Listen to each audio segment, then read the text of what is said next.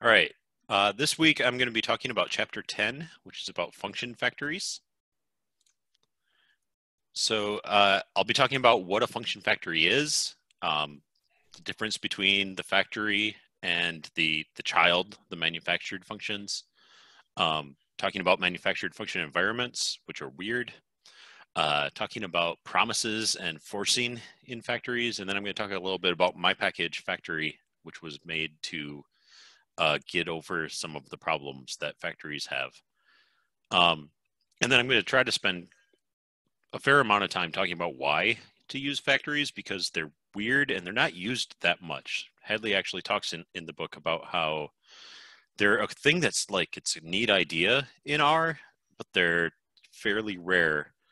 And part of the idea of my package is they don't have to be. Um, and so the packages I'm going to be using in this, um, there's, we actually aren't going to see that much RLang. Um, it's under the hood in a lot of what we're doing, but we'll see a little bit. Um, and then I'm going to use some examples from ggplot2 and scales. And then uh, my package factory, you can install it on CRAN, but I've done a ton of development on it this week. So uh, I recommend the GitHub version if you want to play with that. All right, so what the heck is a function factory? Um, function factories are factories that make functions. Um, and I guess to pause here, uh, a slide that I forgot to include, Hadley talks about that factory function factories and functionals both come from the idea that in R functions are first class objects. Um, and he doesn't, at least that I've found clearly define that. It's a like programming term that once I found the clear definition, it just made sense that um, in R functions are objects like any other object that they can be arguments to a function, they can be returned by a function. Um, a way that a, a coworker put it is that functions are both verbs and nouns in R. They are things that you can pass around. You can actually, despite the uh, the common error. You can subset them if you do certain things with them. They they are objects.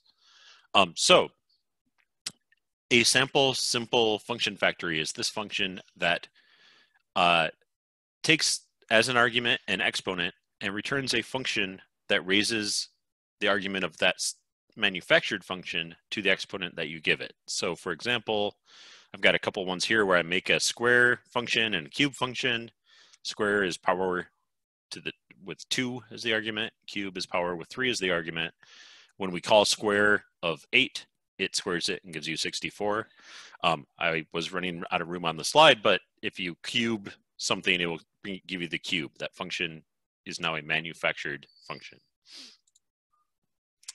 And the reason this all works is the environment of the manufactured function is the uh, evaluation environment of the function factory when you call the menu when you call the function factory. So if we look at it, square one and square or in cube one have their own um, environments, and then if we use rlang to pry inside, we can see that you know like in the code you can't tell what's going on. It's just got this x to the exponent, but inside of that environment, it captured the value of exponent, which is two for square and three for cube.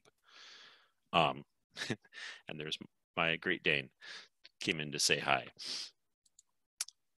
Um, I guess actually before I go on, uh, does everyone get that? Like th- that is a key part of function factories, and if anyone has any questions there, uh, it's a good place to stop.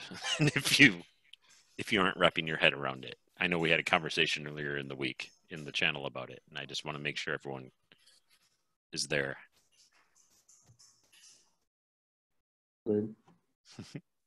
I see that you unmuted Esme. Do you have a question? Yeah, I was about to ask a question, but I think I, I it's fine. I figured it out. you, okay, don't feel embarrassed because it is weird and complicated. Environments are crazy. Uh, like Darren did a great job trying to get us there, but environments are weird and they're a big part of function factories. Um, and it's actually part of what my package is trying to make less confusing about function factories. But um, yeah, so like hidden in the environment that is in, that this function captured is those definitions, and that is useful for how they work. Um, but a problem with that, a, a danger of that, is uh, so when I call here, I'm calling power one of my exponent, which is a promise to be two. And so this is just a promise that the exponent is going to be my exponent. But if I change it before it's ever evaluated, uh, it's two cubed instead of two squared like you might think it would be. In this exact example, like uh, Hadley has the same sort of example.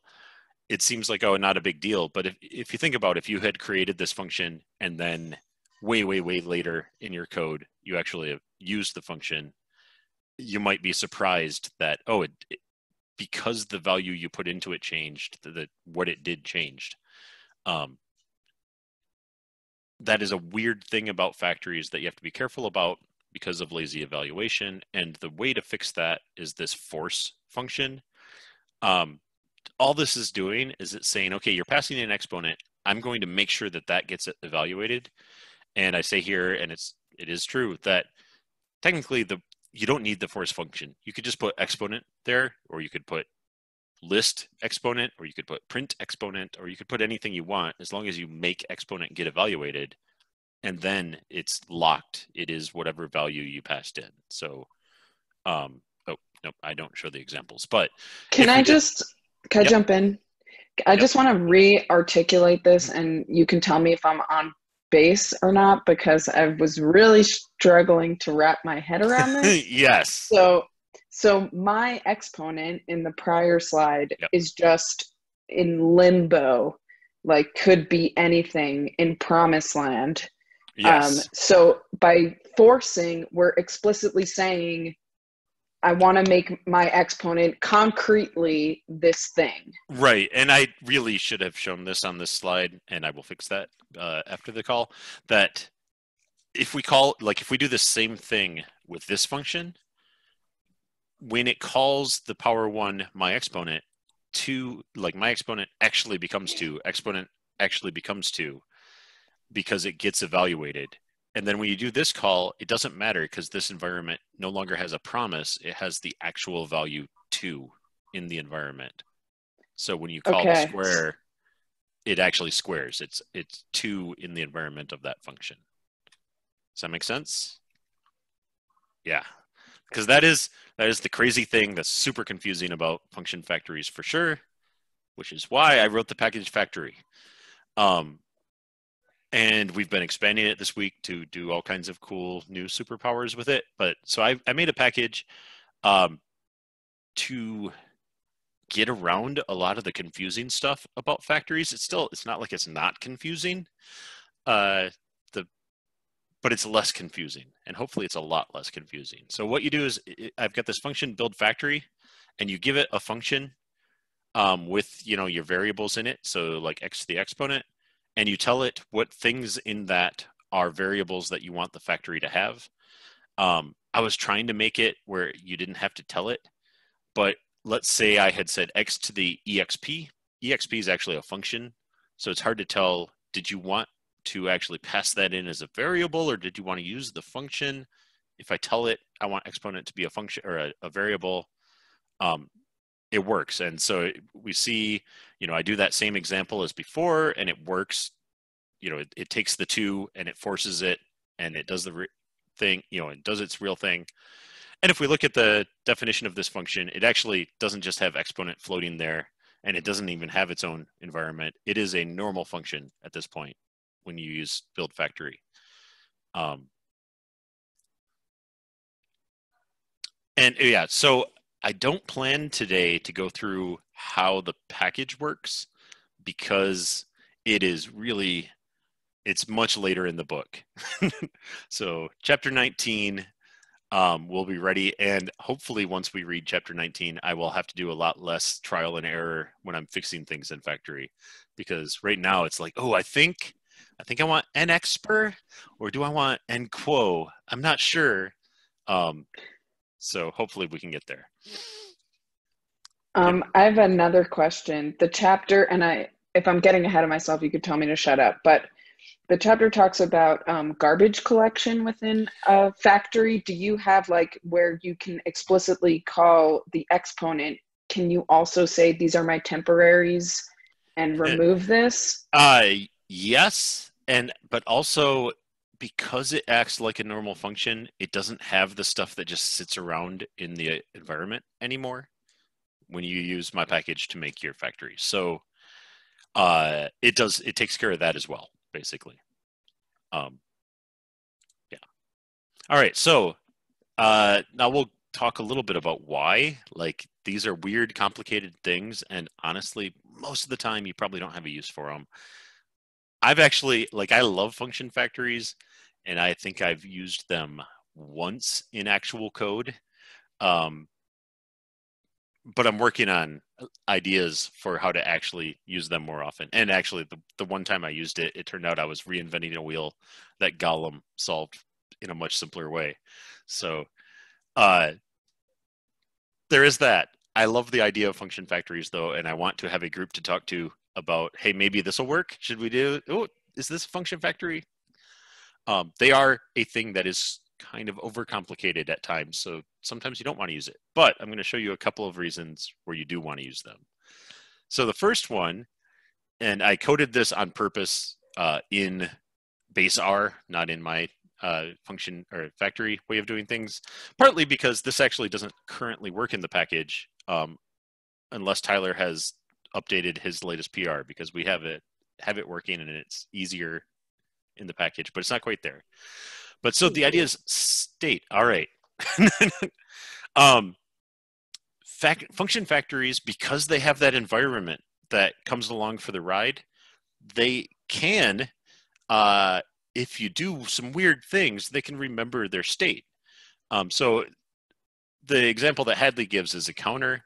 I thought counters are boring, so I made a guessing game. Um, and what this is is instead of being a too high, too low guessing game, it's a warmer, colder guessing game. So it take it looks at your previous uh, how far away you were before and compares it to how far away you are now. Um, this code is really hard to see. We're going to go back and forth because I couldn't fit everything on one screen, but we'll look at how it works in action and then we'll come back and see how it actually does what it does. So I've got this guessing game. I make a new function out of the guessing game, guess, and I guess 50. And it says, oh, try again. So if I guess 75, it tells me I'm colder. So I go back down. And now when I do guess 50, it has a different return than when I did guess 50 before. It says, oh, warmer. I go down to 25, it says warmer. And if I go back up to 50, it says colder because it like it knows what it's doing. I did cheat a little. I gave it a specific value to make this slide because it will be different depending on every time you call it. The first thing it does is it chooses a number between one and a hundred, um, and it says that the previous diff uh, is undefined, basically that you don't have a previous one. And then what it does in the function itself, um, I, I have some error handling here that's not uh, super important. But it checks your thing. If you guessed right, tells you you're right. Um, if you didn't guess right, it checks the uh, difference and compares. First, it checks uh, did you not have a previous difference, or is your previous difference exactly the same? It says you says try again in that case. Um, if the new difference is if you're closer now, it tells you you're warmer. And if you're colder, or if you're further away, it tells you you're colder and then it takes your um, your new diff and puts that into the environment of the function as the previous diff. And so the next time you call the function, new diff is now stored in that in the function. Um, I thought that was cool. Like I've seen the normal guessing game of higher or lower a million times in programming books, but I, I hadn't seen a warmer colder version because you can't most of the time. Like most functions don't have a memory of how they've been called before. Uh, again, not a lot of real uses for this, but I can imagine things like um, there are database things where you know you want to get the next set of data out of the database. So knowing it, it, like the function itself could remember the pointer. And actually, that's a use that I just realized. Um, I've got the uh, Slack uh, package that I've worked with uh, Yoni Sidi on. Um, it has uh, uh, the the functions in there for paging, uh, pagination of the results. It could just get the next page because it knows what the previous page was, or it could. It you know it could remember what your previous page was and actually i think i might implement it that way um some more i don't know straightforward uses or or uses that you've probably done with function factories actually? Well this one probably not but the next one you probably have.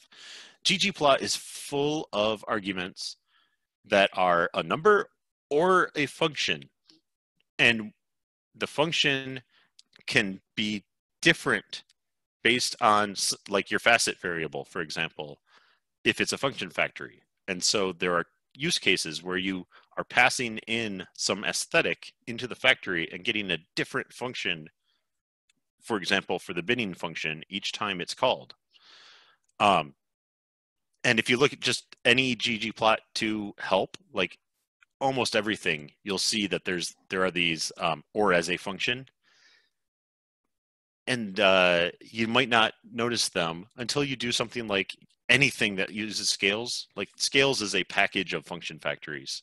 Almost everything in scales is a function factory, and it returns a function, not a value. So, like if you use number format, um, if we look at the code for this, they do a, they actually have their own force, which is a massive. It it it just is putting all of these into a list but it's doing that same thing of forcing evaluation of all the arguments that came in, and then it returns a function. Um, and then there's like comma format is just a call to number format, which returns a specified a, a, a function factor, or it returns a function with some arguments preset. Um, all almost all of the scales package is function factories. Um, another use case that Hadley talks about and uh, I wanted to definitely call out is expensive calculations. Now I'm pretending I didn't do an actual expensive calculation here, but the idea is, you know, you can have all this stuff that you do upfront in the function factory that maybe like I've got some models that I do that actually computing the model takes like an hour.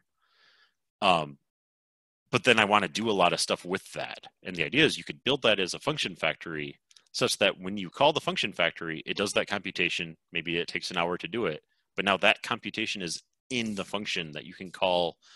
The example here is it's just doing a bootstrap on uh, mtcars based on a, a LM that uh, the formula that you pass on it, or pass in, it does a bootstrap based on that. So every time you call this, it's a different bootstrap sample, but it doesn't have to recalculate the model itself.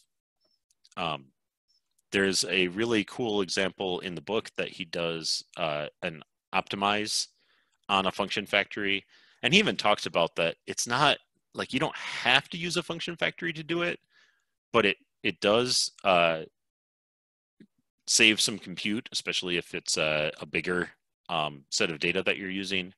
And it conceptually separates the two tasks of the function itself and then the optimization of that function.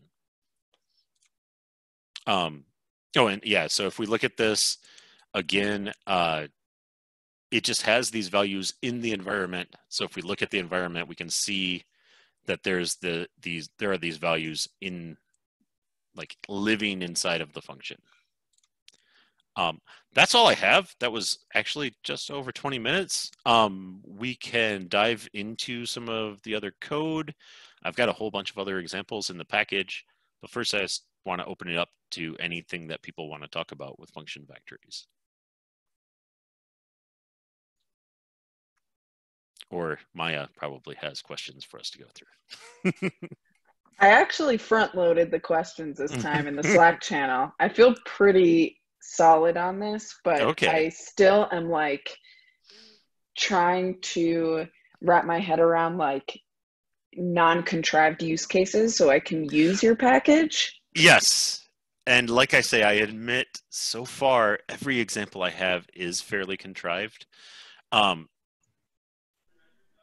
the bootstrap example was actually yeah, that seemed pretty useful. Yeah, like I, I like this one a lot. This is one of his examples that really like spoke to me, makes sense. And like I say, you know, for this particular one, when you call boot model, it takes no time.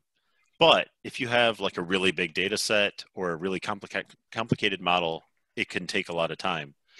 Um, I still don't entirely see why I wouldn't just like do this in an RMD and just do that part once. But um, there are examples, I'm sure, and I'm getting close to it. I'm I'm hunting for them, and I want to make them because it's. I think it is a really just interesting concept of programming, and not all languages allow it.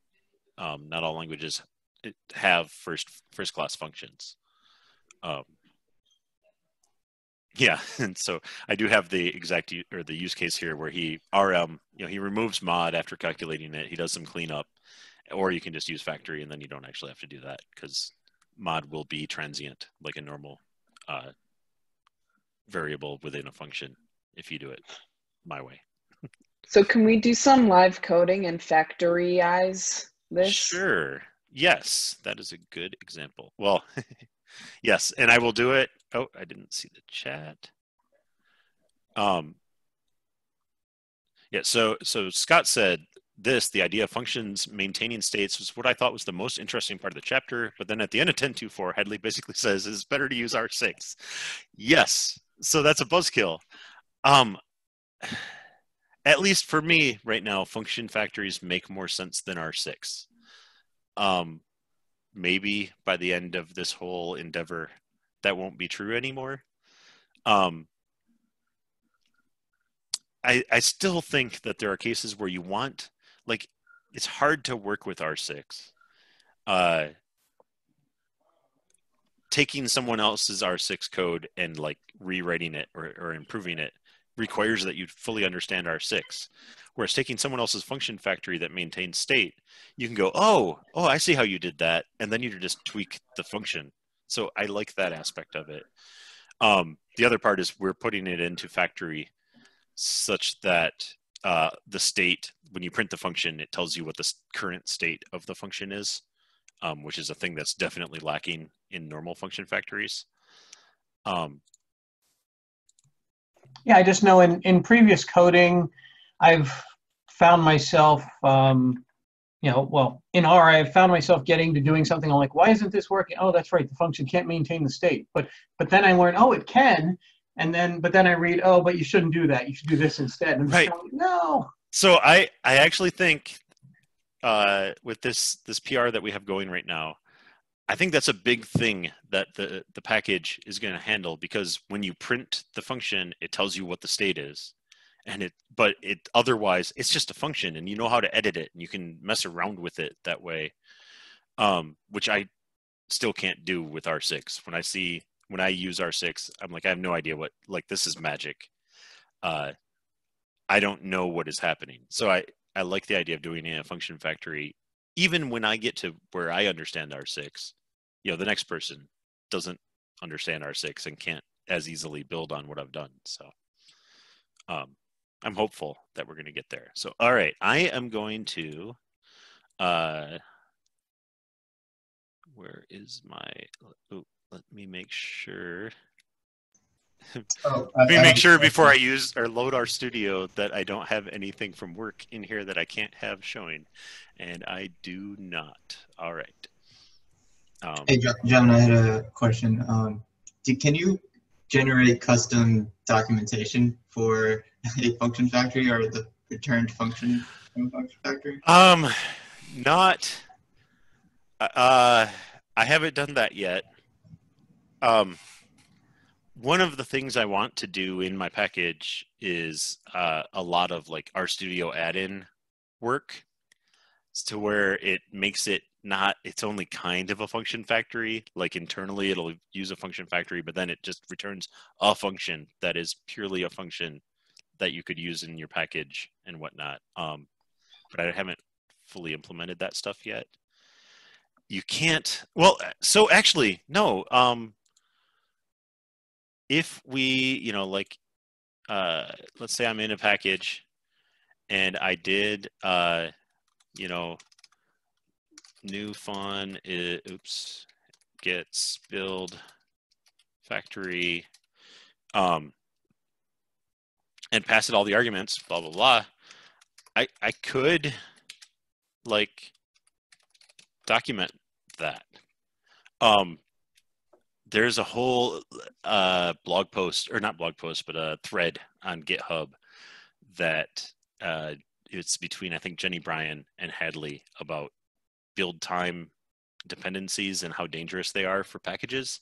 But that's actually a thing that I am currently working on solving with function or with factory, so that you could have this thing. So actually, I'm sorry, this is actually documentation for the factory, not documentation for the manufactured function under the factory. But then you could say newer fun gets new, oops, new fun, blah, blah, blah. And you could document that. Um, so in theory, you could. Now I had to type because uh, if I try to get try to use the hotkey in RStudio, it's like what? No, there's no function there. You can't you can't document that but it will let you do it. Um, it just acts like it won't let you do it. Um, so, uh, go ahead. I was just going to say I, have actually I've done this before, and I was going to ask the same question. Of, you know, I had a function factory, and I explicitly use it to define functions that are then exported in the package. Um, but you know, you can you can provide sort of standard uh, Roxygen uh, markdown to produce a documentation, but it seems a little weird that I don't actually have the function explicitly right. in the code. It's the factory code that produced the function. Yeah. Um, um, you can do it. Yeah. Yeah, and if you're doing it like uh, internally to a package, like if you define the function factory in the package and then use it in the package, that's no problem. The big warning is about if you have a dependency on another package um, at build time of the package instead of at runtime. Um, it works. Like when you install a package, you tend to install the, the things that it depends on or that it imports. But technically, you don't have to do that. And so the actual act of installing the package could crash instead of the act of using the package crashing. Um, and there are other things, but I those are uh, those specific issues I plan to work around um, because that's kind of my whole thing with this package is working around the weird things. All right, so we want to take. Uh, oops. I, I actually already have this code, but I want to write it from scratch um, on purpose. So let's do this. This uh, the model, and I'm going to open up the book to page, uh, where are you? To page 264 or section 1042, um, so that I have the code handy. So we've got this boot model, and I'm going to start by writing it as basically exactly as it is in the book. So it's a factory. Um, it takes Oh, actually, I am going to make a slight change from the book. Hadley has a weird habit, um, which actually I'm going to allow a little bit, but he uses like this. Uh, I don't like doing this where my variable is the function that I'm calling to create the variable. Like, yeah, it works. It's fine. But it breaks my brain a little bit that I have two different objects named fitted now. I don't like that. So I, I did like fitted var or fitted, I guess, fitted vars. Um, and, same with residuals. It doesn't really matter, but I still, um, part of the reason for that is when I was first writing this package, um, not fitted resid, uh, I got burnt by Hadley's examples. All used exp instead of exponent, and I thought something was working, but it actually was only working because it was detecting that that was also the name of a function and being like, oh, that's fine. And like it was weird, crazy code that shouldn't have worked anyway, but I didn't, you know, it was hard to detect. And so now I'm kind of obsessively, I say mostly because I use df all the time, and df's actually a function. Um, but it's a function that I never use, so I guess I, I'm okay with that. All right, so uh, we're using that to build this function that returns fitted vars uh, plus sample resid var, oops, resid vars. And yes, so now if we say boot mtcars is boot model mtcars mpeg and wait. Oops. And then we do oops, head boot mtcars. And if we call it again, it's a different result. Okay. Before we go on, we don't have to force anything here because we're doing all the work in there. Yes. Uh, yes. Um, I'm actually a little. I th- oh oh because technically technically you could have a fitted vars, because you're creating it there. So we are using df and formula, and so the df and formula get evaluated, and all these other variables are they can't get masked by things in the global environment because they're local to the factory. Um, so yes, because we're using them, we don't have to force. All right, so let's do model two, and it's going to be a build factory. Um, so the first thing I'm going to give it is um, the function. So that part's easy. That's just this. Oops. And uh, one thing to be careful of, especially like, you know, because we're recording this, if you're watching this later, I am about to change the name of every argument in Build Factory because it's super dangerous. Like this is called fun. Uh, this this argument is fun, but you could have a, an argument called fun in your own function, and they would collide, and that would be bad. And so, uh, by the time you're watching this, it'll probably be that is the actual name of the argument because no one's going to use that in their own function. Um, Likewise, I've got, I started, I thought I had it. It's like oh, I, internal variables, but I'm going to put factory on the front of all of these. So factory internal variables is a list and it is um, a named list of these things that I'm making and I'm just going to copy and paste. And its mod is an LM of that and uh, fitted vars, resid vars. Um, I think that's, oh, and then I have to tell it, oh no, there are no arguments to my function. So I think I, oh, commas, yes, because I copied, pasted. And, oh, comma there. All right, there we go. And in theory, actually, I can just do this.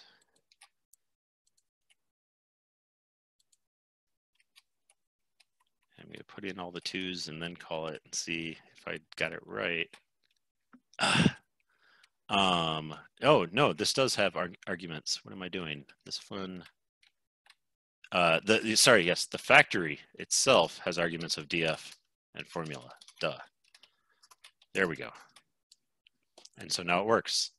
Um, I swear it's easier. It is actually easier to do. I just missed a step because I was talking but yes, you you have to tell it still. Like I said, I'm trying. To, I'm fighting back and forth with myself of whether I need you to tell me the arguments or I can figure them out myself.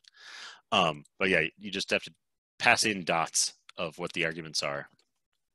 Um, you, so go ahead. I was, was going to say, I don't know if you're going to get there. Can you print the functions? Oh, yes. So uh, the original one is the mystery where it's got fitted vars and resid vars and we don't know what they are. And actually that's a little hard to see, but the uh, factory build factory produced one actually puts those numbers in the function. Um, it's a little hard to read in this particular case, but if you look at it, it's just, it's got those numbers that are materialized in the function. So you you can see them you don't have to be confused by it you don't have to get lost in what did it actually do it's there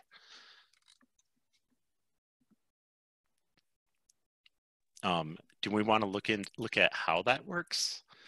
It's a little so uh, technically this code is wrong. It's lying because well, it's uh, it has already been improved. I don't have the latest pull request pulled down, um, but it's basically the same thing. So what we do, this is used like I say, it's using all the stuff from rlang that we're going to talk about in about nine chapters. Um, and what this came from actually is if you jump ahead into chapter, I think it's chapter 19, there is, uh, where are you? There's a section on this function that's in rlang called new fun. Um, I don't have it handy, but he talks about, hey, this is another way that you could do function factories, and technically it makes cleaner functions, but you know, it's way more confusing to code this way. I was like, well, but what if it wasn't more confusing to code this way? What if we hid all the confusion? So, all right. So the first thing I gotta capture the dots that you're passing in, and I've got to get those names. Um, this is because you're passing in, you know, something like DF, and I have to make sure that I don't evaluate DF anywhere within my function because DF doesn't actually exist. Uh, well, DF exists because it's a function, but not the version of DF that you want to exist. Um, likewise, uh, so then I take those arguments and we go through some crazy rlang. Um, oh, actually, I got to jump out to, I'm going to jump to a different branch because this fails right now. So I don't want to walk through the code that doesn't actually work. Um, so let's do that. Come on, that should have changed. No, oh. Well, actually, I'll just go pull. You swear that it works now, right? Uh, it passed all the tests last time I ran it. Okay.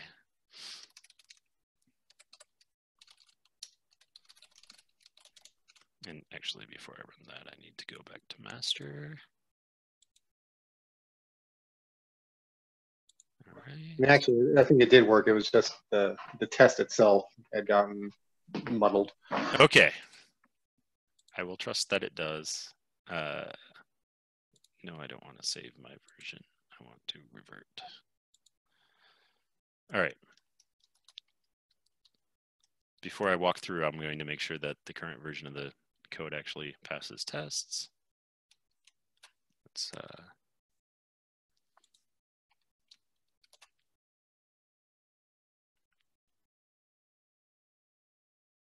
There we go. All right. So we are all good. Um, so, all right, now we look at it and it, it is that same code. It is taking these dots and it goes through and uh, does some cleaning. It's basically what we're doing here. I don't know. I don't really want to dig too deep into the rlang, partly because uh, I can never remember exactly what each piece of the rlang is doing yet. I don't have it fully internalized, but we're going through and um, making sure that the dots aren't broken, the stuff that you passed in, and and some like you can actually pass uh, default values, and so it's got to do special things if you did give it a default value. Um, otherwise, you know, when we li- do that call, uh, we're just passing in like df, which technically like the the way I originally wrote this package, that's what you had to pass in, which is more technically correct, but crazy, and no one should be required to do that. Um, so DF and formula are your dots here. Yes, and they are okay. the arguments of the factory, and so they are the names of the arguments. They're not the right hand side, the the values of the arguments. Um, and so it, because I just didn't want people to have to put, you know, have to do this construction. Um, df equals the same as df null equals null. No, it isn't. It is so. Uh, let's do. Um. Do we even see? There's so I think a list is the only base function where you can have just a left hand side. Um, no, and that's what uh, you're doing here. uh, another example. I mean, there are a few examples. Switch is oh, an example. Okay, yeah. But yeah, um, just it's weird, and I it looks weird to me, so I didn't want to do that. So I I take it, and so then if we look at the code, like one of the things we're doing here is seeing um, that it is empty, that it's it doesn't have a name. Um, so yeah, that's the names dot equals nothing. Uh, then we make it a missing argument. We do all these different, all these things along the path. Um, and then we actually do uh, set it up to be evaluated. Um, oh, and actually that's where we evaluate the right-hand side if you give it to us, but not the left-hand side. And then we flatten it, set the names. Um, so, all right, so that's the arguments and that is again anything that you're passing in as dots that's anything you know that's df that's formula that could be you know i could give it another argument and if we look at it um, now boot model 2 is a uh, is a function that takes these three arguments. Um, or if i go back to where it was before boot model 2 just has the two arguments um, and I could also say, uh, for example, this is a weird case. I could give it this default argument. I think that worked. Yeah. Um, so actually, and so now that will, you know, this would work and it would do the same thing as it had done before. Um, so that's why there's all the crazy rlang is to let you do these things like that. Uh, and then the next piece, this is one that I added, I think just yesterday.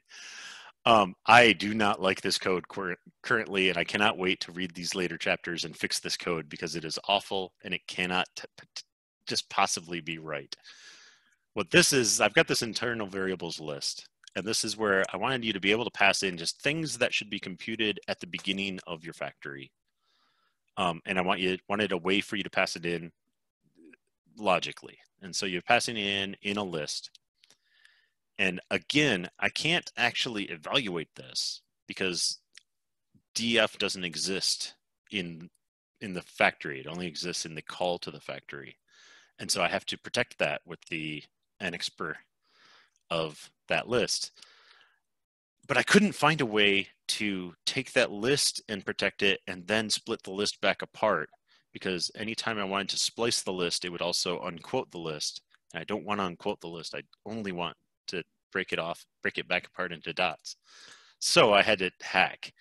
Um, and so if if there is this to do, if you if you passed it in any internal variables, I turned that into a character make sure that the word at the beginning of it is list like it should be and i stop if i'm not and then i take that character and I, or, or that sorry not that it's no longer a character i just take that expression and get rid of that first thing that is just telling me that it's a list. And now what i have left is a list of expressions uh, quoted expressions that i can then do crazy things with this is not the right there's got to be a better way to do this. Somewhere in rlang there's a way to do this. I couldn't find it so i hacked it.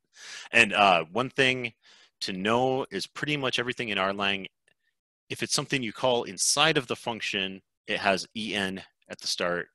And if you want to do the equivalent thing outside of the function you just take off the en. So i can show you what i mean here by uh, saying that my to do gets rlang expr that. And if we look at to do, just look at it, it looks like it's just that call, which is weird, that you can then subset that call. And for example, it's got list as the first element of that subset. Technically here, I could probably, instead of saying as character, I could say that it's a, the symbol list instead of the character list. Um, either there's an as either an as character or an as symbol somewhere. Uh, but yeah, so now so so we have this to do. It looks like this, but I say, oh, get rid of that. Oops. get rid of that first list element. And now to do is a list of my quoted variables. Um, again, like I say, there's got to be a better way to do it, but everything I tried evaluated those, and evaluating is bad for these. Uh, we can't evaluate them because that breaks everything. Um, Would it was, be a pain for homework to make a little reprex of what you're doing here? Because I have an idea that probably won't work, but it'd be fun to play with. Um, yeah, I can do just what I just did, starting from the expert, um, and then like this code, try to reproduce the result without such an ugly, ugly hack. So I welcome that. And if you want to PR uh, the the package, as long as I don't know, one of these nights I'm going to go to bed and wake up in the middle of the night and oh, I forgot to quo or something. I don't what, know. What does um str like structure of to do look like? Um, I see you're just calling the print method on it. Right. No, it's a dotted pair list. Yeah.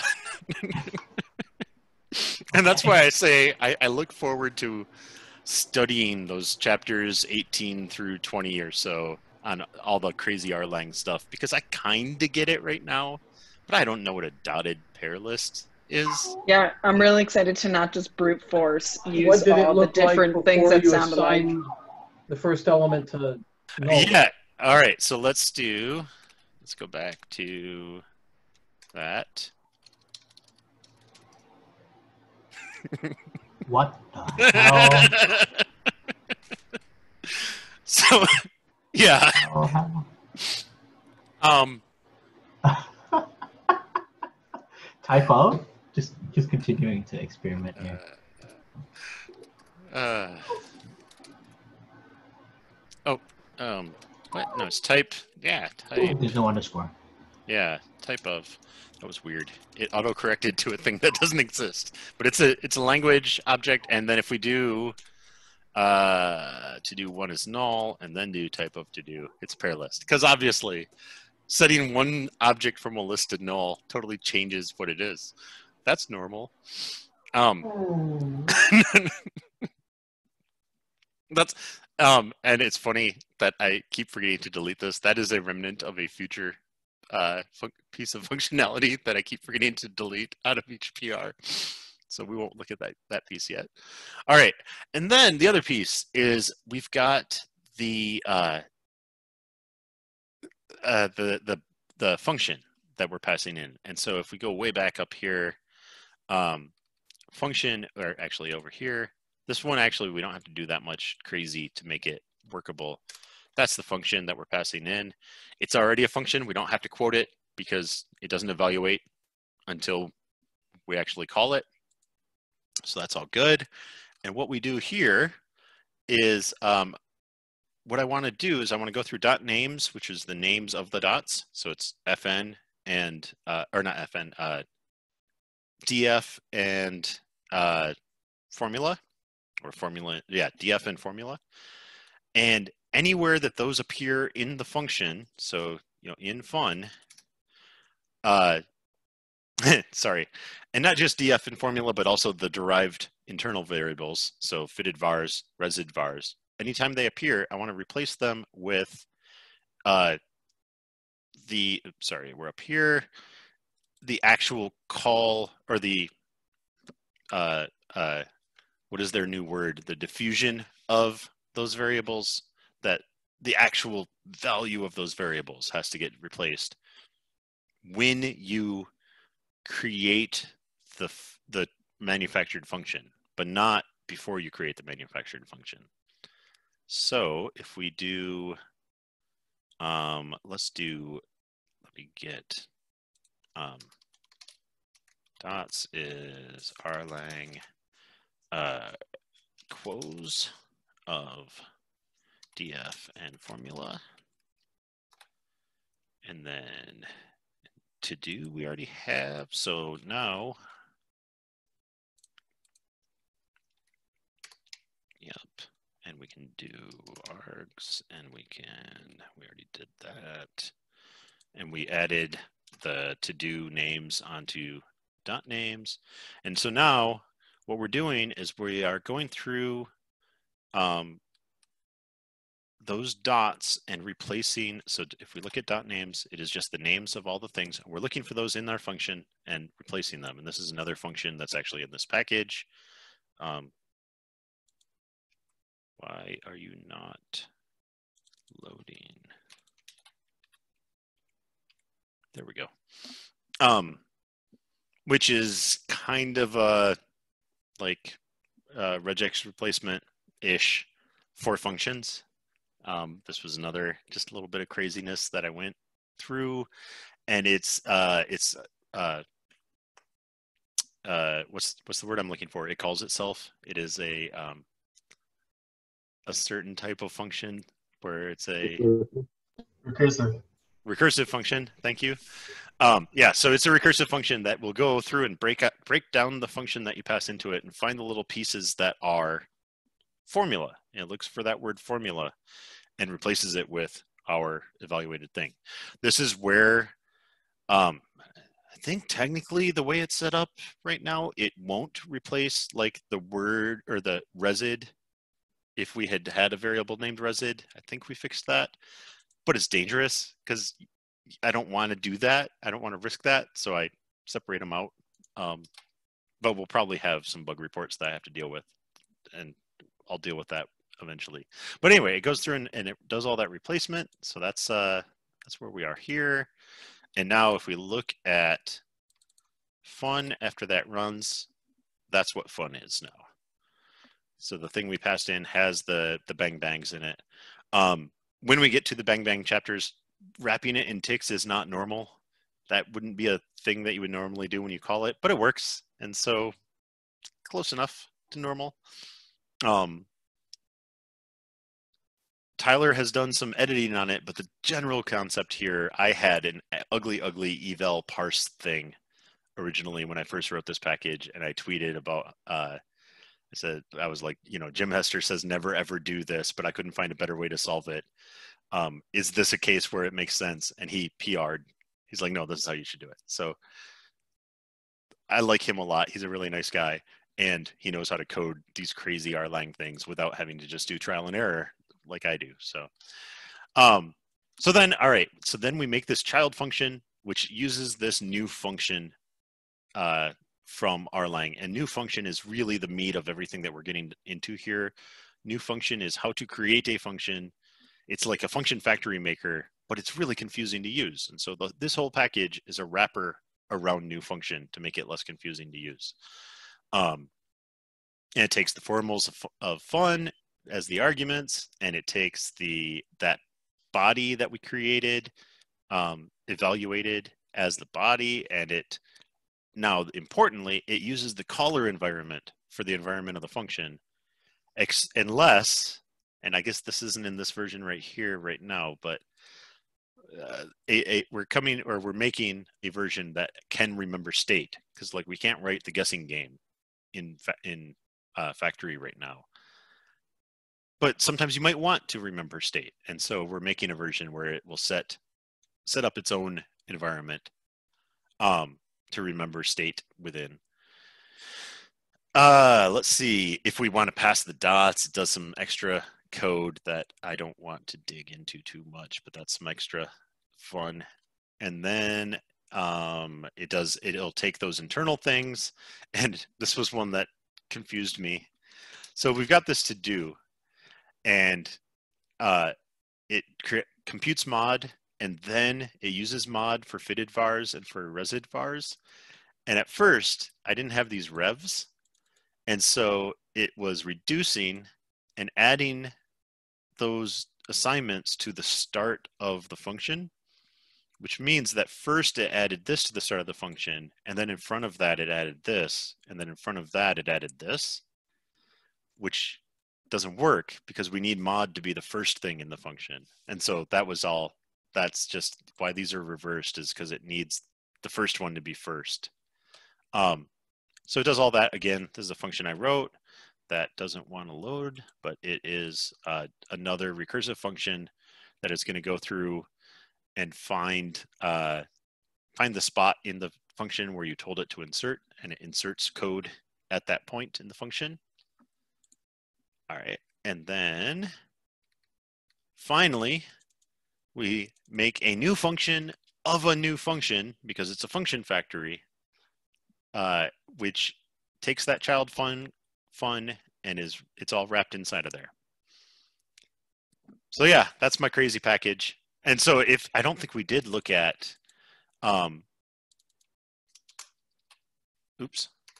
Boot model 2 has that rlang new function it has bang bang and it has um, you know an, an environment that it sets. So it is it is more confusing to read and that is the sacrifice that my the result of factory is the factory is a little hard to understand but the result of the factory makes a lot more sense. And actually if we go to um, you know let's go way back to the uh, the basics the the one that all this kind of is based on um you know, if we do the power one the basic way and then we make square one, it's totally opaque what square one does because exponent is invisible. Whereas if we go way down and we make it using factory, um, and whatever, it works like normal and it just is a function. Like there's nothing crazy about the resulting function.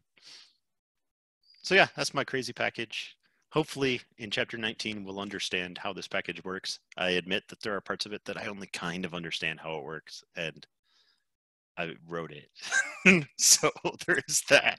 Tyler wrote a lot of it. Really he refactored uh, a big chunk of code and i thank you for that quite a bit i think it'd be awesome to revisit this cha- after chapter 19 if I you'd be willing absolutely agree um, i think that would be fun I think when we get to that chapter, there's a good chance that I'm going to refactor a lot of this package. So we'll see how that goes. Um, we will have the stateful functions in there. And like I said, I, I think a killer uh, thing about it is we're making a print method for stateful function so that when you make a stateful function, it and you print it, it will tell you the current values. Now that would ruin the guessing game, so don't print the guess uh, function, but for normal uses, it would re- let you see what it thinks right now. So, coming soon. Anything else? Any other questions? If you only like kind of understand this, I don't know how I would describe my own level of understanding. I like. I mean, I do I sort of understand this, but yeah. Well, and I mean, yeah. I, I most like I, I mostly understand what it's doing, but it's more like I have to walk through some of it. Like I'll, when we do the parsing of the arguments, at the time that I was writing any individual part of that, it totally made sense uh, when we do this. But I can't tell you looking at the code without like really diving in and walking through what is each of these modify ifs really doing. But I know it's things like dealing with uh, it actually, I think, still accepts if you do put in the equals. Like it just deals with that. I think, yeah. Um, that's one of the ifs. Yeah, it's basically like trying to handle all the different ways you could possibly define the formal arguments. Right, and so and like technically that is fine, and then we could just call it without any arguments. Um, it still works. So there's that's one of the ifs or the modify ifs in there. Um, and now actually we see that's actually a funny thing. It doesn't put mtcars into the default. It puts the definition of mtcars, but then we could say again, quote it. This is another crazy part of it. Oops. But then, um, sorry, that was boot model two that now the default is mtcars, not the value of mtcars. All these, like all these cases, are what is in there. And I'm sure Tyler actually has a better understanding of it right now because he just rewrote this uh, from a much longer, messier version into the nice, beautiful uh, purrr code. So yes, definitely chapter 19. We're gonna we're gonna have to look at this again. Oh, geez, and chat is full, and I didn't see it happening. Is there anything that I should uh, address? Oh, We're just making fun of your setup. my beautiful, beautiful setup. I told you that I was gonna trigger you, Tan. it's perfect. Oh, but uh, having like the default setup, well, you have the default setup except the panes. That's actually really helpful for like when you teach people, or just like I guess general. Like, yeah, I actually almost just set it all back so that people wouldn't be distracted, and I actually did intend to make it larger because we want to be able to go through the code, but I didn't. and yeah, I like I don't know. I like this layout. I like uh, this is all like my files and my evil evil environment. I did learn through this club that sometimes when I'm working on this package, as I did here, I have to turn off oops the uh, refresh because I had to like you know I lost track of what environment was actually being used and the environment pane makes that more difficult sometimes. Um, what I can't get over is console being a different width than your source.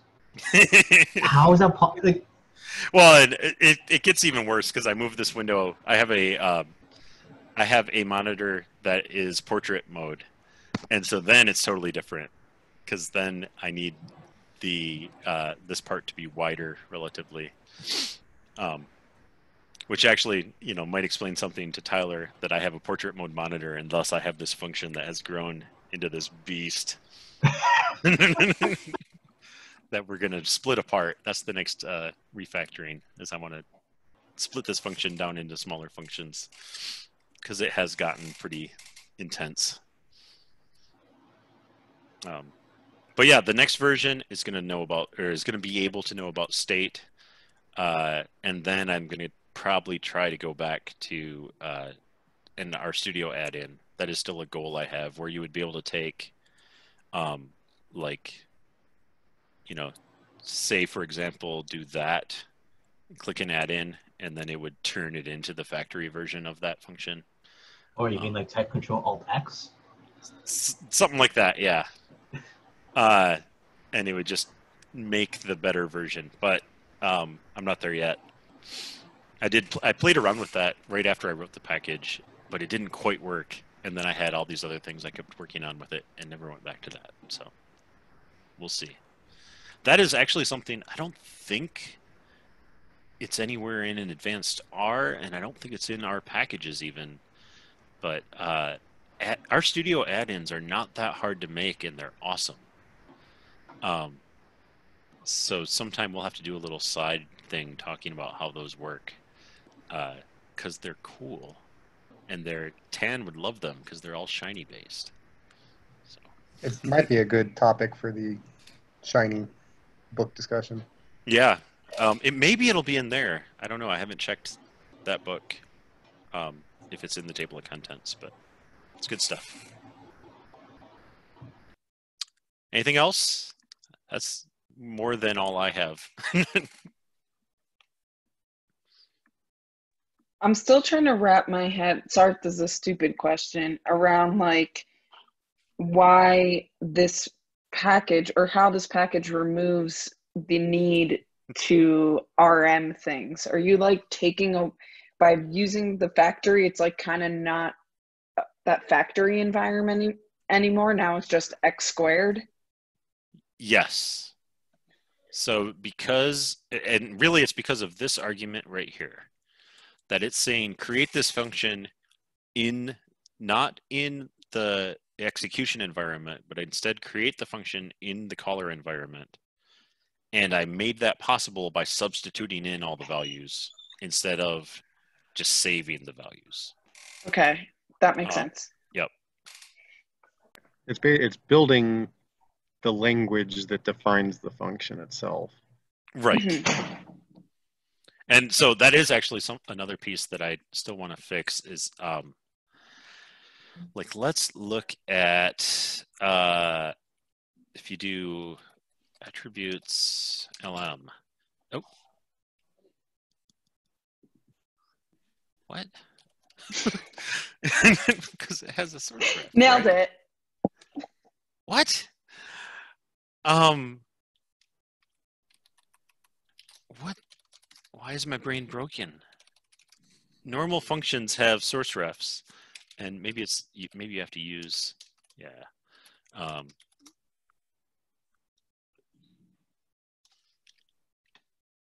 No, that's I, am sorry. I well, I don't remember the the call to use anymore. But normal. So the important thing is, let's say I did this uh, function. Uh, this is a comment. That comment actually isn't in the body of the function. It's in the source ref of the function. So if we look up here, there is no comment where I put it. That's a thing I want to fix. Is I want to actually maintain the source ref in addition to the function, but that would mean that I'm going to have to do character replacement through the function and like symbol replacement through the function. And so maybe I won't ever do that. We'll see. but yeah, so right now, if you pass comments in, they, they get eaten by, by build factory. They go away. Yeah, it gets it gets a lot hairier when you want to start messing with the comments and everything. Yeah, um, and it's because like if we look at you know fun, um, if we print fun, it's got that comment in it. But if you do body fun, it doesn't. And we use body fun to rebuild the functions, which sounded kind of dirty. So, all right. Um, with that, I think I need to take off. So uh, if there are any questions, definitely bring them up in the channel. Um, and we will keep going there. I'm sure Tyler and I will keep talking about weird fixes that we're doing in the package and feel free to chime in in any of those conversations. Um, or, and, and, I will try to, I'll, I'll put that um, reprex up for the to do and see if anyone can figure out how to do it without a hack because uh, I do not like my hack. Sweet. This was awesome. Thank you.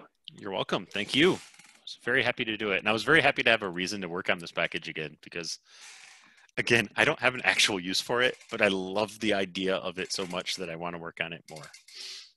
So, all right. See ya.